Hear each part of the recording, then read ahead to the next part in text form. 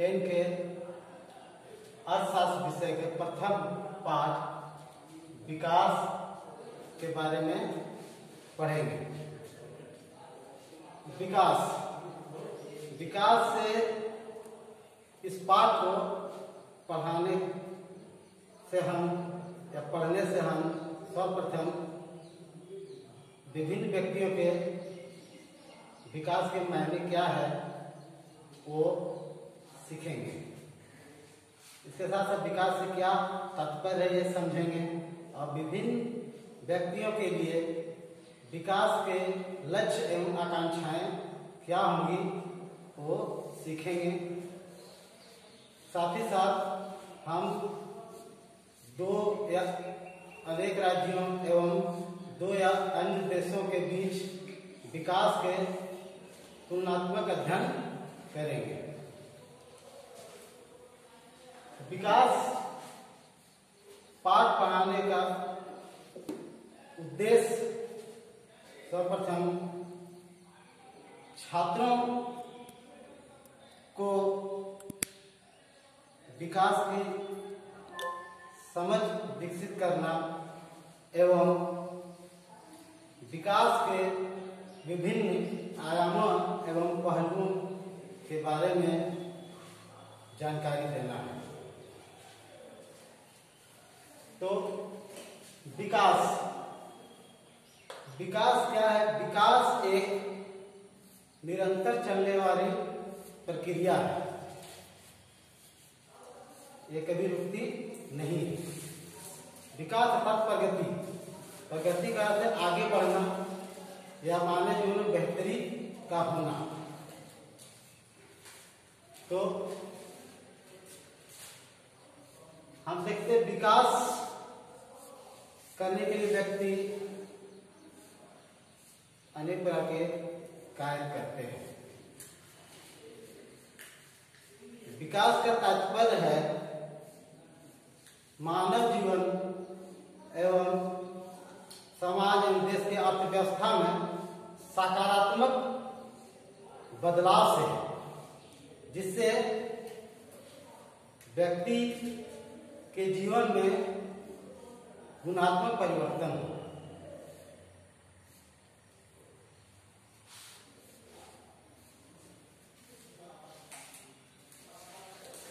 बच्चों हम देखते हैं कि विभिन्न व्यक्तियों के लिए विकास के लक्ष्य भिन्न भिन्न होते हैं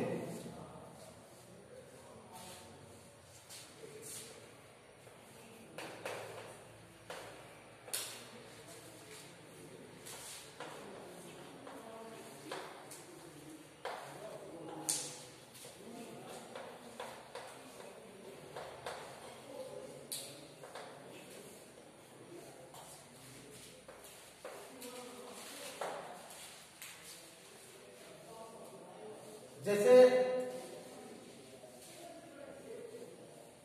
एक भूमिहीन ग्रामीण मजदूर एक भूमिहीन ग्रामीण मजदूर के लिए विकास का लक्ष्य या आकांक्षाएँ क्या हो सकती है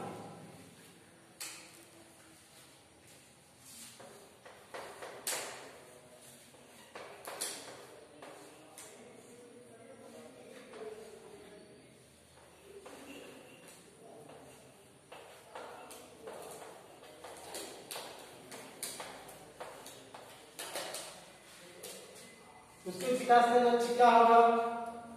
तो ग्रामीण भूमि मजदूर का विकास का लक्ष्य होगा। उसे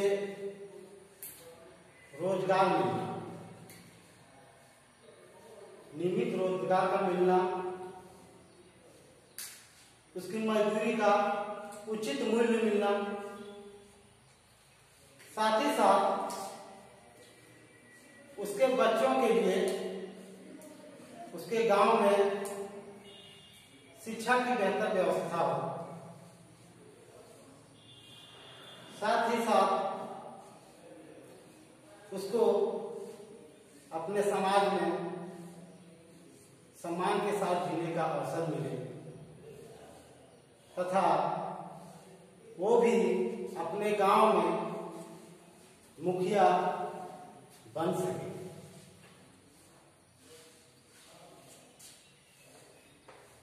आगे देखते हैं पंजाब के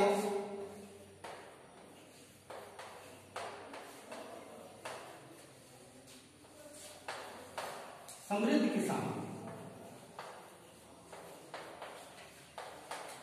पंजाब के किसान के लिए विकास का लक्ष्य क्या है? या उनकी आकांक्षाएँ क्या होगी पंजाब के समृद्ध किसान का लक्ष्य होगा कि उसके अनाज का न्यूनतम समर्थन मूल्य मिले। उसके अनाज का न्यूनतम समर्थन मूल्य मिले। साथ ही साथ उसे कम मजदूरी पर बेहतर कार्य करने वाले मजदूर मिले, जिससे उसकी आय में वृद्धि हो, जिससे कि वे अपने बच्चों को विदेशों में शिक्षा दिला सके। आगे हम लोग देखते हैं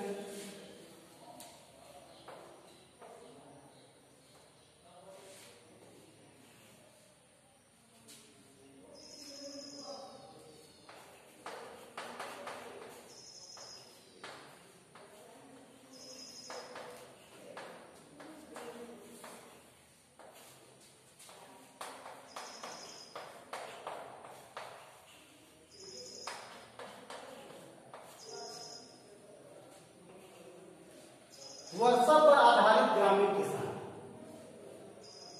वैसा किसान जिसकी खेती वर्षा पर निर्भर है वो किसान के विकास का लक्ष्य क्या है वो किसान चाहेगा कि प्रत्येक वर्ष वर्षा उचित मात्रा में अच्छी हो जिससे उसके फ़सल का उत्पादन अधिक से अधिक हो आगे देखते हैं। शहरी बेरोजगार युवक।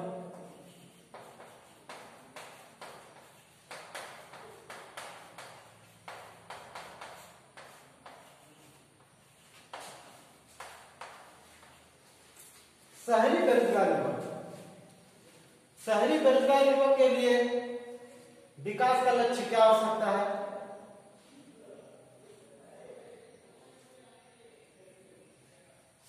शहरी युवा केंद्रीय के विकास का लक्ष्य रोज़गार। साथ ही साथ उसे नियमित रोज़गार मिले और अधिक से अधिक वो आय प्राप्त कर सके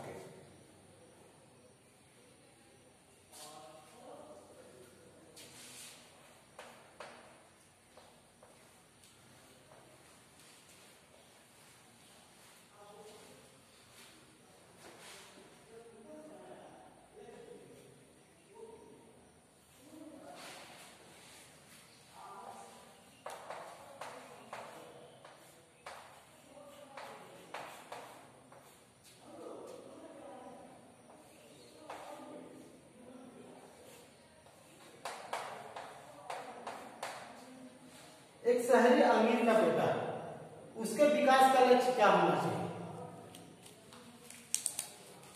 शहरी अमीर के बेटे का विकास का लक्ष्य होगा कि वो विदेशों में पढ़ाई कर सके।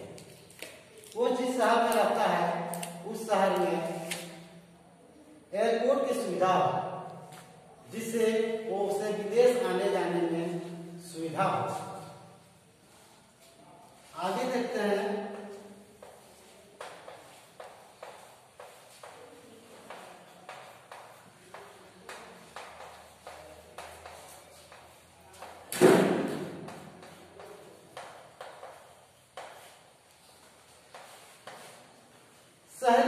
परिवार की लड़की शहरी अमीर परिवार की लड़की का विकास का लक्ष्य क्या होगा सर्वप्रथम वो लड़की चाहेगी कि उसे भी अपने भाई की तरह आज़ादी मिले, वो अपने फैसले स्वयं ले सके। साथ ही साथ वो चाहेगी कि वो अपने भाई की तरह वो भी विदेशों में पढ़ाई कर सके आगे देखते हैं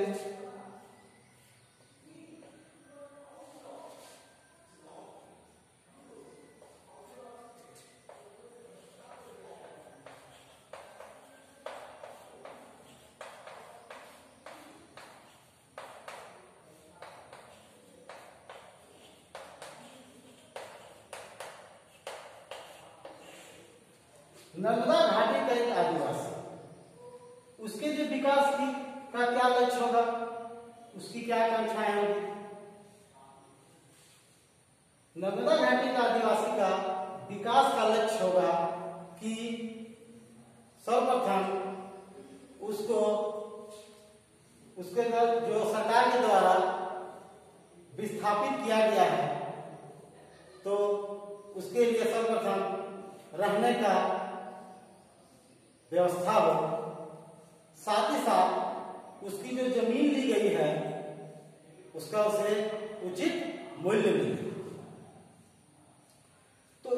प्रकार हम देखते हैं कि भिन्न भिन्न व्यक्तियों के लिए विकास का लक्ष्य भिन्न भिन्न है सभी के लिए विकास का लक्ष्य अलग अलग है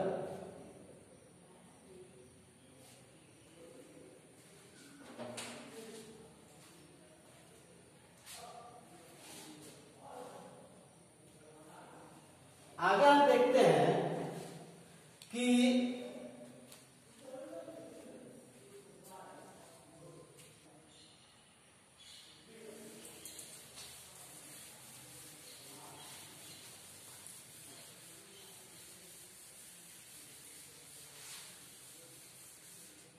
बच्चों हमने देखा कि विभिन्न व्यक्तियों के विकास के लिए लक्ष्य अलग अलग है तो लेकिन हमें यह भी समझना होगा कि किसी व्यक्ति के लिए विकास का लक्ष्य किसी दूसरी व्यक्ति के लिए वो विकास का लक्ष्य नहीं हो सकता है उसके लिए वो विकास नहीं हो सकता है जैसे उदाहरण के लिए हम देखते हैं कि शहरी समृद्ध परिवार की लड़की, यदि चाहती है कि वो अपने भाई की तरफ़ से भी आज़ादी मिले, वो भी विदेशों में पढ़ाई कर सके तो हो सकता है उसके भाई को उससे तकलीफ़ आगे देखते हैं कि एक व्यापारी एक कारखाना चलाने वाला मालिक चाहेगा कि उसके लिए बड़े बड़े बाँध बनाए जाए, जिससे कि उसे बिजली ससमय मिलता रहे। लेकिन नर्मदा घाटी का एक आदिवासी चाहेगा कि उस बड़े बड़े बाँध ना बनाया जाए, क्योंकि बड़े बाँध बड़े बाँध बनने से हो सकता है कि ज़मीन जलमग्न हो जाए, जिससे उन्हें विस्थापित होना पड़े। तो इस प्रकार देखते हैं कि जहाँ एक व्यक्ति के लिए विकास का लक्ष्य, दूसरे व्यक्ति के लिए वो विकास का लक्ष्य नहीं हो सकता। उसके लिए शायद विनाशकारी भी हो सकता है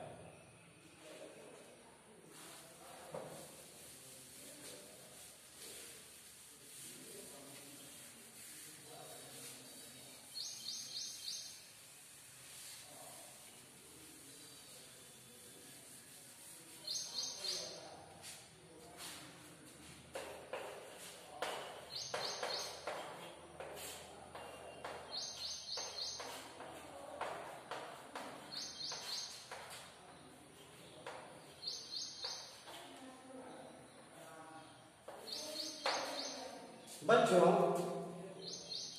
देखते हैं कि लोगों के लिए विकास के, लिए कई अन्य लक्ष्य भी होते हैं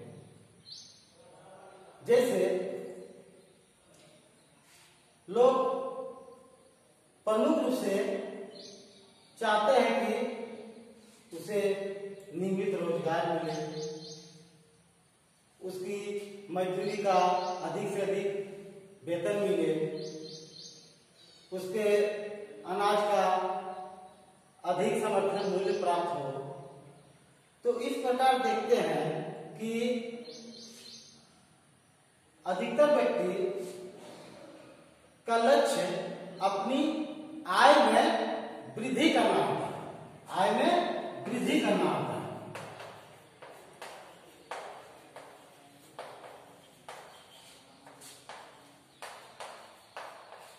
आय में वृद्धि करना होता है प्रमुख लक्ष्य जिससे कि वो अपने भौतिक आवश्यकताओं की पूर्ति कर सके लेकिन आय में वृद्धि के अतिरिक्त मानव के लिए अन्य चीज़ें भी महत्वपूर्ण होती हैं जैसे स्वतंत्रता उसके परिवार की सुरक्षा। बेहतर वातावरण। बेहतर स्वास्थ्य सुविधाएँ।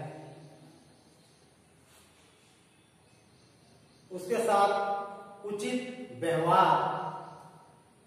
समाज में समानता। हर व्यक्ति चाहता है कि समाज, उसके साथ उचित व्यवहार करे। जैसे आप देखोगे कि यदि आपके सहपाठी आपके साथ उचित व्यवहार नहीं करता है तो आपको तकलीफ़ हो तो आयु वृद्धि के अतिरिक्त व्यक्ति को ये चीज़ें भी बहुत महत्वपूर्ण होती हैं। कभी कभी तो आय से ज़्यादा अन्य चीज़ें महत्वपूर्ण हो जाती है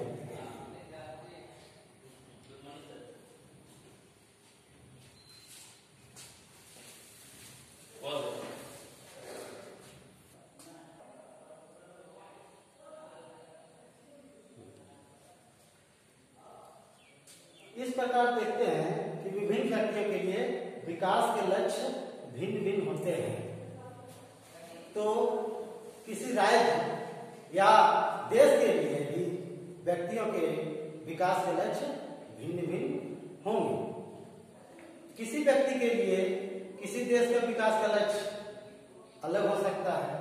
किसी अन्य व्यक्ति के लिए किसी देश का विकास का लक्ष्य कुछ और हो सकता है।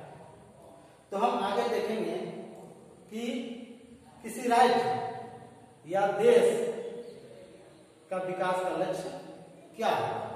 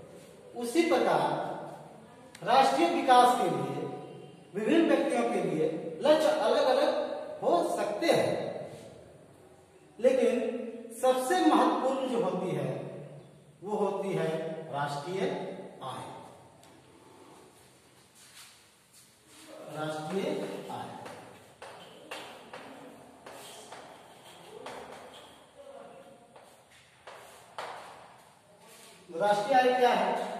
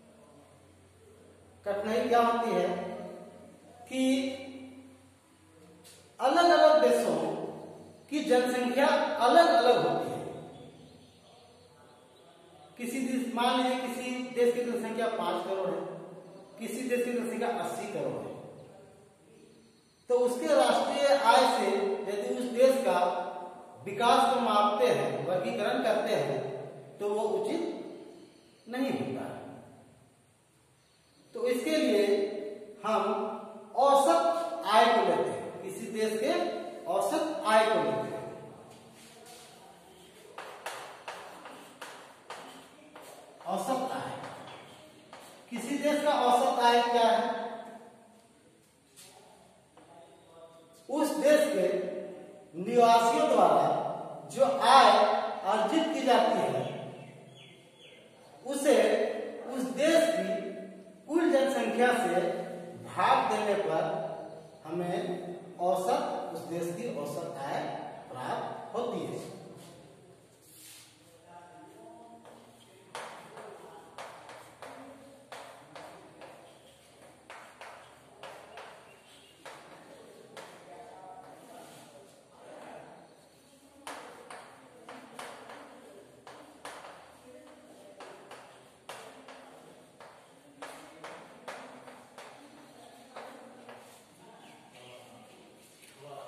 इस प्रकार देखते हैं कि औसत आय बराबर किसी देश की कुल जन, कुल आय बटा देश की कुल जनसंख्या। हम औसत आय को प्रति व्यक्ति आय भी कहते हैं। औसत आय को प्रति व्यक्ति आय भी कहते हैं। तो प्रति व्यक्ति आय के द्वारा किसी देश के विकास का वर्गीकरण कर सकते हैं।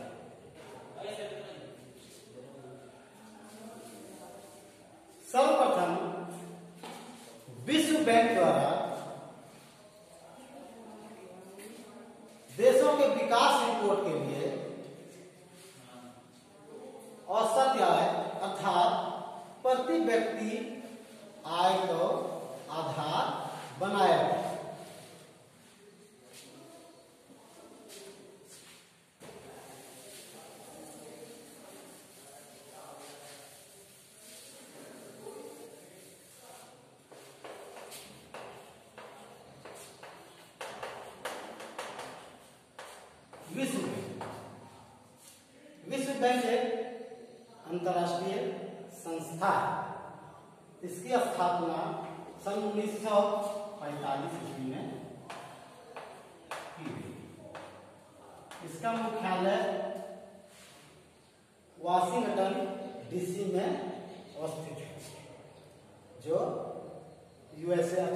अमेरिका का एक शहर है।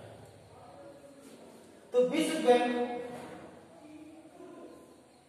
का देश विकास रिपोर्ट जो जारी किया गया, या वर्गीकरण किया जाता है देशों का विकास का, उसका मुख्य आधार जो है प्रति व्यक्ति आय तथा औसत आय प्रति व्यक्ति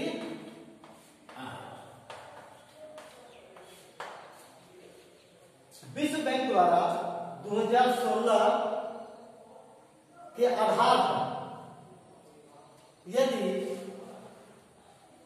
किसी देश का प्रति व्यक्ति आय बारह हज़ार दो सौ छत्तीस यूएस डॉलर प्रति वर्ष है तो उस देश को समृद्ध देश माना जाता है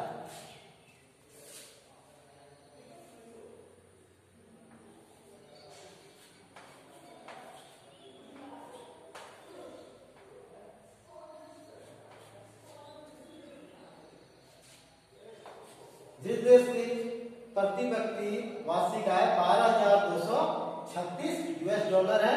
उस देश को विश्व बैंक द्वारा समृद्ध देश माना गया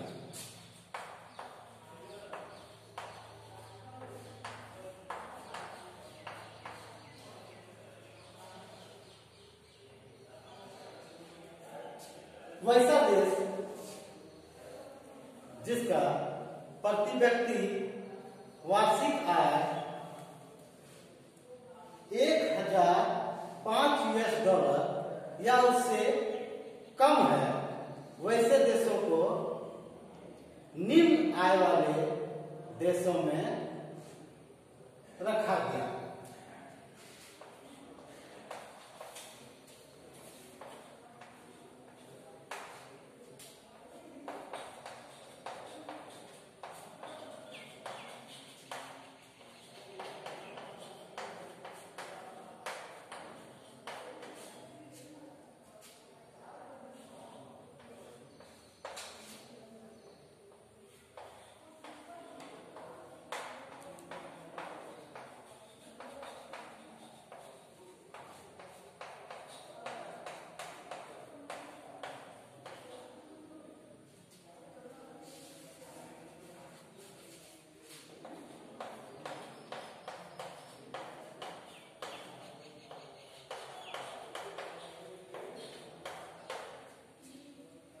वैसे देश जिसकी प्रति व्यक्ति वार्षिक आय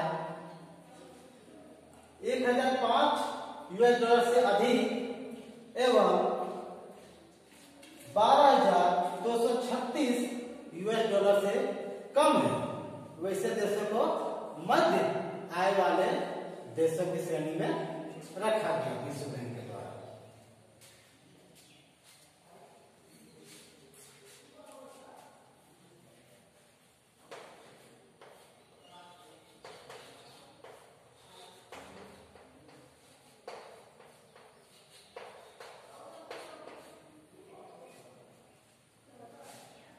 इस आधार पर देखते हैं तो विश्व बैंक ने विश्व के सभी देशों को वर्गीकरण करने में प्रति व्यक्ति आय को मुख्य रूप से आधार बनाया और देशों को तीन भागों में बांटा। पहला समृद्ध देश, दूसरा निम्न आय वाले देश और तीसरा मध्य आय वाले देश। उसके प्रति व्यक्ति आय के आधार पर। तो हम अब भारत की बात करते हैं। तो भारत इस तीन श्रेणियों में किसमें आएगा तो वर्ष 2016 में भारत की प्रति व्यक्ति वार्षिक आय 1840 यूएस डॉलर थी। वर्ष ये आंकड़े वर्ष 2016 के तो इस आधार पर भारत किस श्रेणी में आएगा भारत मध्य आय वाले देश की श्रेणी में आएगा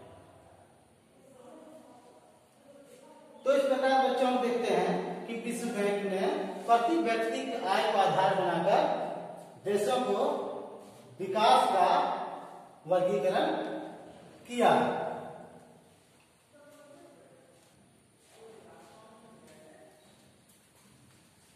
बच्चों यद्यपि देखते हैं कि विश्व बैंक द्वारा प्रति व्यक्ति आय के आधार पर देशों का वर्गीकरण तीन भागों में किया गया।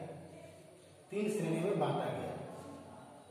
लेकिन क्या प्रति व्यक्ति आय ही विकास का एक सूचक है, या उसको पूर्ण हम मान सकते हैं?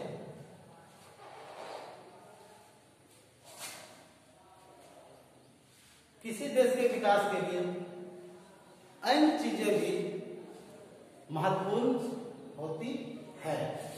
सिर्फ़ प्रति व्यक्ति आय को से यदि हम उस देश के विकास को मानते हैं तो ये पर्याप्त नहीं होता। है इसके लिए हम एक उदाहरण से समझ सकते हैं। हम दो देश को तुलना करते हैं।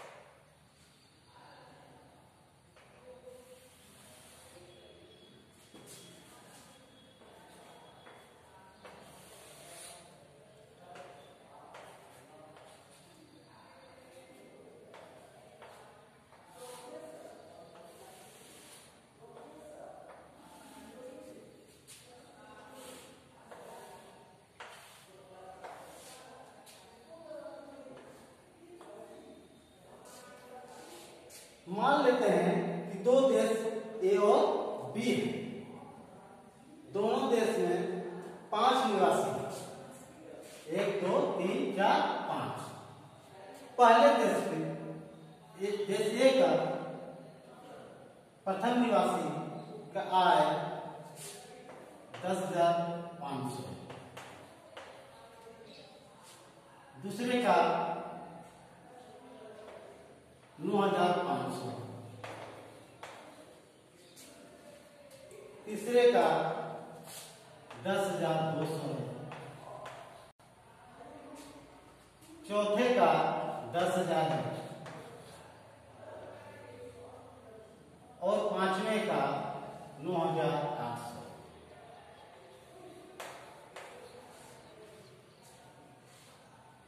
फिर हम देश डी को देखते हैं।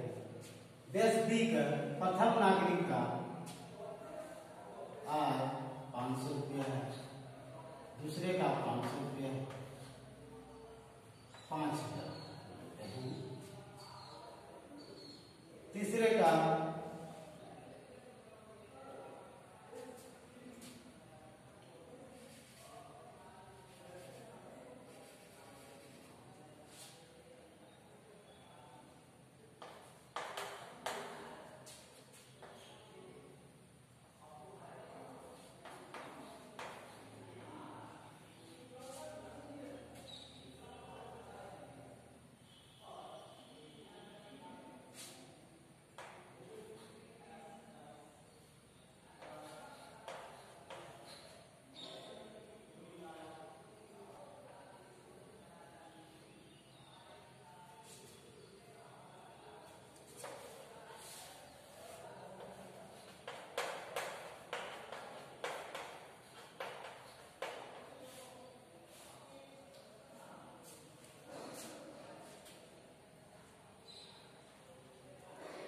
यदि देश ए के सभी व्यक्तियों का औसत या या प्रति व्यक्ति आय निकालते हैं तो वो कितना आएगा?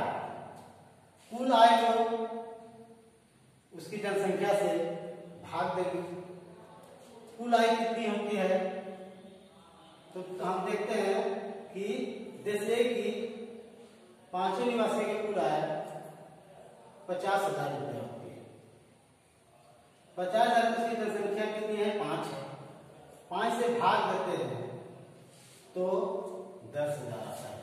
औसत है? देश बी में पाँचों व्यक्ति की कुल आय वार्षिक आय पचास हज़ार होता है। इसे, इसकी कुल जनसंख्या पाँच से भाग देते हैं। तो इसकी वार्षिक औसत आय दस हज़ार रुपये आता है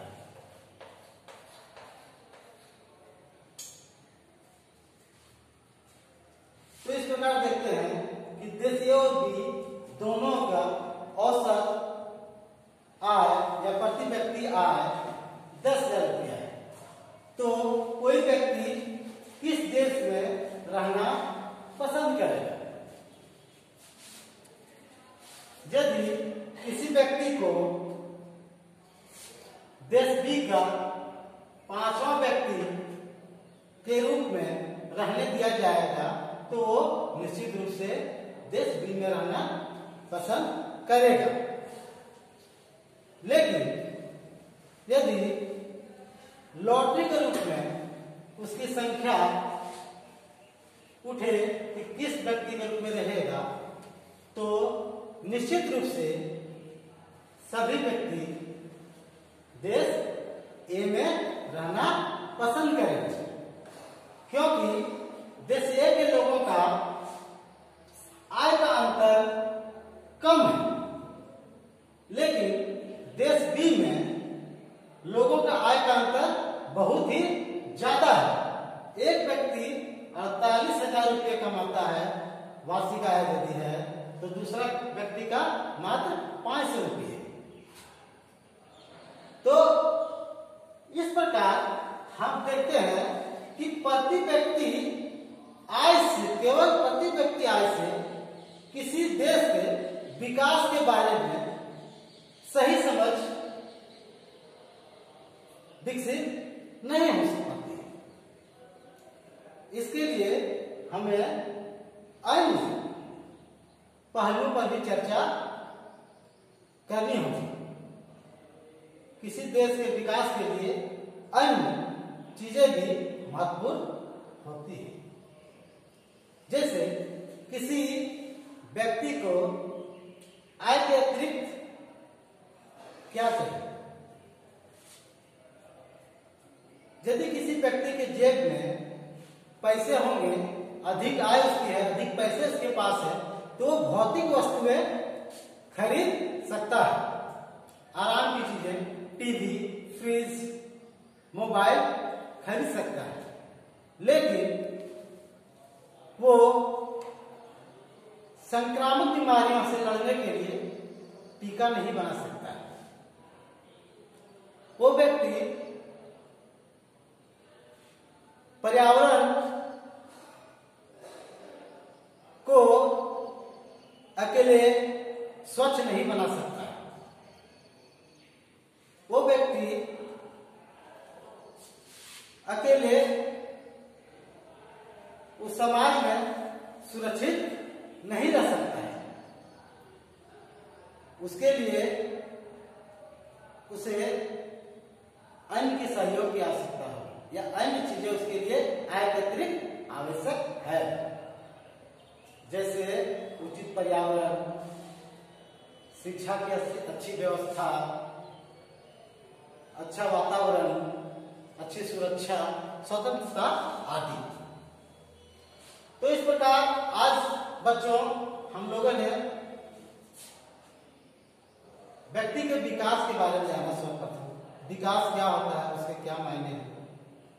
दूसरा, विभिन्न व्यक्तियों के विकास के भिन्न भिन्न लक्ष्य होते हैं, ये जाना इसके साथ ही साथ हम लोगों ने राष्ट्रीय विकास के बारे में जाना कि किसी देश का विकास को कैसे मापा जाता है, तुलना कैसे किया जाता है और राष्ट्रीय विकास के लिए क्या आधार माना जाता है। तो विश्व बैंक के द्वारा राष्ट्रीय विकास को मापने के लिए औसत या अथवा न्यूनतम समर्थन मूल्य को अपनाया गया। लेकिन इसमें भी कुछ सीमाएँ या कमियाँ हैं। जिसे आगे ठीक करने का प्रयास किया गया। आगे हम लोग अगले सत्र में हम इसके बारे में जानेंगे। बच्चों, अब आज के पाठ से संबंधित कुछ प्रश्न मैं आप लोगों से पूछना चाहूँगा, जिसका उत्तर आप ढूँढने का प्रयास करें। और से लिखने का प्रयास करें। जैसे, पहला प्रश्न है कि एक ग्रामीण विद्यार्थी के लिए विकास का लक्ष्य क्या होना चाहिए?